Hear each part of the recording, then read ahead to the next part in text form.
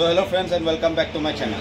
So this video is going to be interesting. Interesting why? Because this car is PPF protected and so that's why I'll be discussing with you the benefits of doing PPF in any car. So most of you have seen the videos in Facebook, YouTube, whatever that doing PPF in any car protects it against scratches, dents, right? But that is a lie. So I'll prove that to you right here. So now this car just met with a scratch. So this is the scratch and this is the PPF. So did the PPF protect the car? I guess not. This is a minor scratch. It's not that it has met with a very big accident. But since it has scratched this part, the PPF itself, it's not visible, it's gone. This portion is PPF free.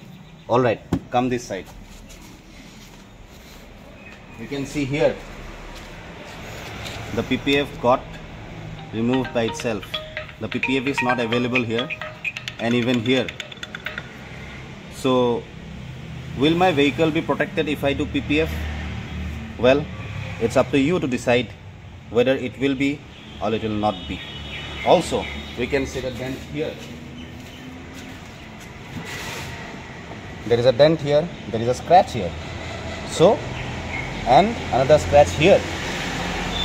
So this car came to me with a request that we have to repaint this car. We have to make it original. We have to restore this car to its original form. So now it will be a headache for me you know why? Because i'll have to remove the ppf from the whole bumper. And after that only i'll be able to do work on this car.